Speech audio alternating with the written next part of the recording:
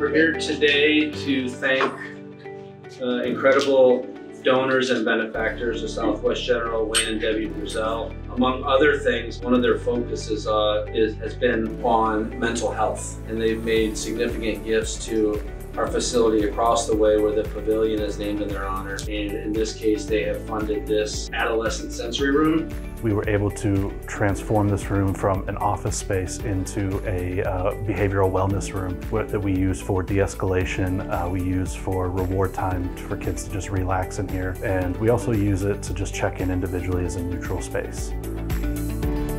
So we primarily do group therapy as a form of treatment here. Like I said, we have our IOP or intensive outpatient program. We also have our PHP or partial hospitalization program, and those are both group-based treatments.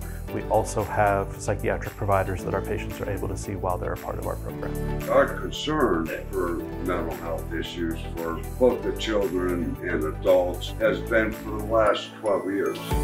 We had said, you know, if, if what we can do helps one person, then it's well worth it.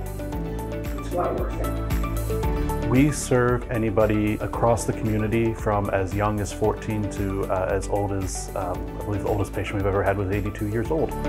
We serve the mental health community and those that struggle with their mental health. We also have substance use groups here for those that struggle with addiction.